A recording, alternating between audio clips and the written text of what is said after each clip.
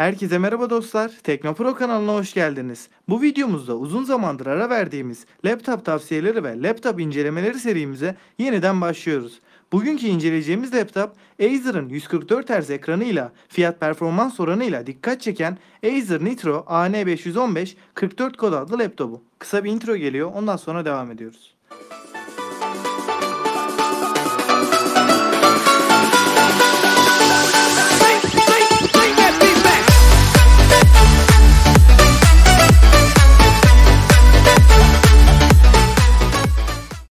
Dostlar öncelikle sizden bir ricam var. Sağ alt taraftan kanalımıza abone olmayı ve videoyu beğenmeyi unutmayın. Gerçekten çok emek veriyorum ama maalesef emeğimin karşılığını alamıyorum.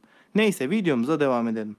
Her zaman olduğu gibi incelememize ilk olarak laptopumuzun tasarım detaylarıyla başlayalım. Tasarımına baktığımızda keskin tasarım hatlarına sahip oyuncu laptop olduğunu belli eden güzel bir görünümle geliyor. Ekran çerçevelerine baktığımızda alt kısımda kalın, üst kısımda da normal boyutta bir çerçeve bulunuyor. Ama yan kenarlar epey inceltilmiş durumda. Ekran kasa oranı olarak oyuncu bilgisayarlarına göre ortalama bir ekran kasa oranına sahip olduğunu söyleyebiliriz. Acer Nitro AN515 363 mm genişliğe, 255 mm derinliğe, 23.9 mm kalınlığa sahip. Açıkçası ekran kasa oranının iyi bir seviyede olması sebebiyle nispeten taşıması diğer oyuncu laptoplarına göre daha kolay. Ve burada Acer'ın kullanmış olduğu tasarım çizgileri sebebiyle bir oyuncu laptopuna göre daha kibar, daha küçük bir yapıda olduğunu söyleyebilirim. Acer Nitro AN515'in klavye yapısına geldiğimizde cihazda gayet kaliteli bir klavyenin bulunduğunu ve bu klavyenin maalesef arka aydınlatmasının sadece kırmızı renkte olduğunu söyleyeyim. Bu benim için bir eksi değil. Çünkü kırmızı renk cihaza hoş bir görüntü katmış. Laptopun giriş çıkış özelliklerine geldiğimizde bizlere oldukça fazla seçenek sunduğunu, laptopun sol tarafında 2 adet USB 3.0, 3.5 mm jack girişi ve Ethernet yuvası bulunduğunu, sağ tarafında ise 1 adet Type-C, 1 adet USB 3.0 ve harici bir monitöre veya televizyona bağlamamıza imkan sunan HDMI yuvası bulunuyor. Bilgisayarın giriş çıkış seçenekleri gayet yeterli ancak tek eksik noktası SD kart okuyucu yuvasının bulunmaması. Eğer çok fazla telefondan, kameradan veri aktarımı yapıyorsanız bu laptopu aldığınızda USB'den SD kart dönüştürücü almanız gerekiyor. Tasarım konusunda bu laptop benim beğenimi kazandı. Hem görsel açıdan hem de kullanışlık açısından bir oyuncu laptopundan beklediğiniz her şeyi fazlasıyla veriyor. Dostlar buradan teknik özelliklere geçtiğimizde cihazda çok güçlü bir işlemcinin yer aldığını söyleyeyim. Bu işlemci AMD Ryzen 5 4600H işlemcisi. 3 GHz baz frekansta çalışırken yüksek güç altında 4 GHz gibi çok iddialı bir değere ulaşabiliyor. İşlemcide 6 çekirdek ve 12 thread bulunuyor. Piyasada alabileceğiniz i5 10. nesil 10300H oyuncu serisi işlemcilerden daha güçlü bir işlemci olduğunu belirteyim. Ayrıca verimlilik açısından da 7 nanometre fabrikasyon süreciyle üretildiği için i5 10300H'tan çok daha az güç tüketiyor. Yani kısacası işlemci konusunda bu fiyat bandında alabileceğiniz açık ara en performanslı ve en verimli bilgisayar. Yeni nesil Acer Nitro soğutma konusunda da eski Acer Nitro serilerinde kronik sorun olan ısınma sorununu aşmış durumda. Cihazın sağ ve sol tarafında birer adet, arkada ise geniş büyük bir şekilde iki adet ızgara bulunuyor. Çift fanlı soğutma sistemi sayesinde bu ızgaralardan sıcak hava çok rahat bir şekilde atılıyor. Bilgisayarın yoğun güç altında da düşük ısılarda çalıştığını söyleyeyim. Şimdi cihazımızın ekran kartına değinelim. Nvidia'nın bu aralar pek çok giriş seviyesi oyuncu bilgisayarında gördüğümüz GTX 1650 Ti 4 GB belleğe sahip GDDR6 formatında 128 bitlik ekran kartı ile geliyor. Baz model olan GTX 1650'ye göre 1650 Ti ortalama 10-15 FPS daha yüksek kare hızları veriyor. Tabi bu değerin oyundan oyuna değiştiğini söyleyeyim. Örneğin Rocket League gibi bir oyunda 30-40 FPS bile fark edebilirken GTX 1650 Ti GTA 5'te ise 1650'ye göre 10-12 FPS civarında daha iyi sonuçlar veriyor. Yani Acer Nitro AN515'te bulunduğu fiyat aralığında koyulabilecek en mantıklı ekran kartının kullanıldığını görüyoruz. RAM tarafında da tek slota konumlandırılmış 16 GB'lık 3200 MHz hızında gayet kaliteli bir RAM kullanılmış. 8x2 şeklinde RAM kullanılsaydı tabi daha iyi performans verebilirdi ama yine daha 16 GB ve 3200 MHz hızında bir RAM olduğu için gayet yeterli performansı bizlere fazlasıyla sunuyor. Laptopun depolama tarafında da fiyatının hakkını fazlasıyla veren 512 GB'lık NVMe M2 SSD kullanılmış.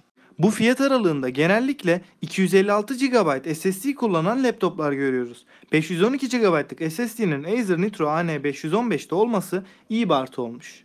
SSD haricinde laptopta bir de SATA yuvası bulunuyor. Eğer 512 GB'lık alanın size yetmeyeceğini düşünüyorsanız 1 veya 2 TB'lık hard disk alarak depolama alanını yükseltebilirsiniz. Hatırlatmam gereken çok önemli bir nokta var dostlar. Burayı lütfen atlamayalım. RAM kapasitesini veya depolama alanını yükseltmek istiyorsanız kesinlikle kendiniz yapmamanız gerekiyor. Çünkü Acer'da cihazı açtığınız zaman garanti kapsamı dışına çıkıyor.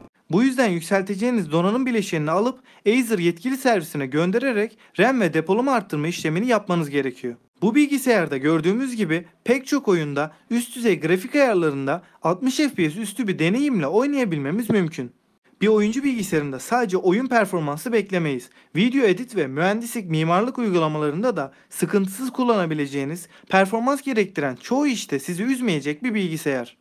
Tabii ki de bu bilgisayarda 4K'da çok iyi bir video render performansı beklememiz mümkün değil. Ama 1080p için gayet ideal bir bilgisayar olduğunu söyleyebilirim. Eğer bu laptop alırsanız performansından gayet memnun kalacağınızı düşünüyorum. Dostlar şimdi gelelim cihazımızın ekranına. Ekran tarafında da oldukça iddialı bir bilgisayar.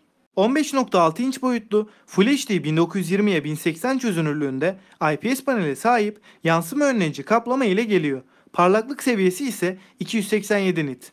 Bu ekranın bize sunmuş olduğu en önemli özellik 144 Hz tazeleme hızına sahip olması.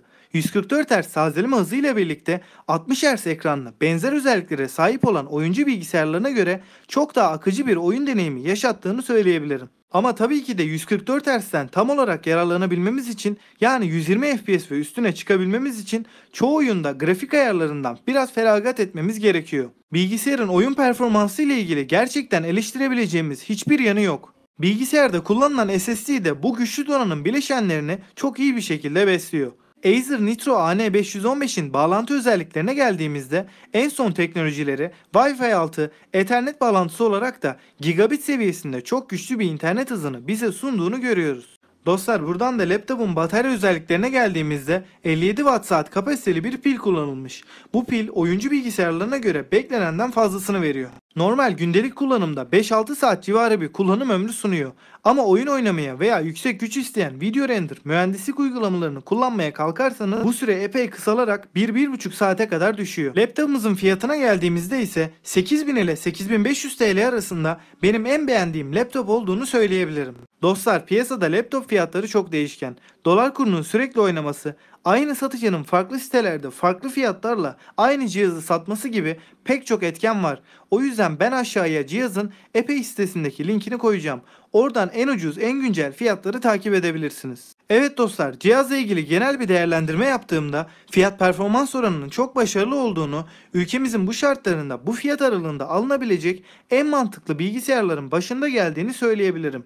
Performansıyla, soğutma sistemiyle, ekranıyla, bataryasıyla, kısacası çoğu konuda pek çok kullanıcıyı tatmin edecek bir bilgisayar. Peki dostlar sizler Acer Nitro AN515 hakkında neler düşünüyorsunuz? Benimle görüşlerinizi yorumlar kısmında paylaşmayı, beni desteklemek ve yeni videolarımdan haberdar olmak için Teknopro kanalına abone değilseniz abone olmayı ve bildirim zilini açmayı ve videomuzu beğendiyseniz beğen tuşuna basmayı unutmayın. Bir sonraki videomuzda görüşünceye dek kendinize iyi bakın ve hoşçakalın.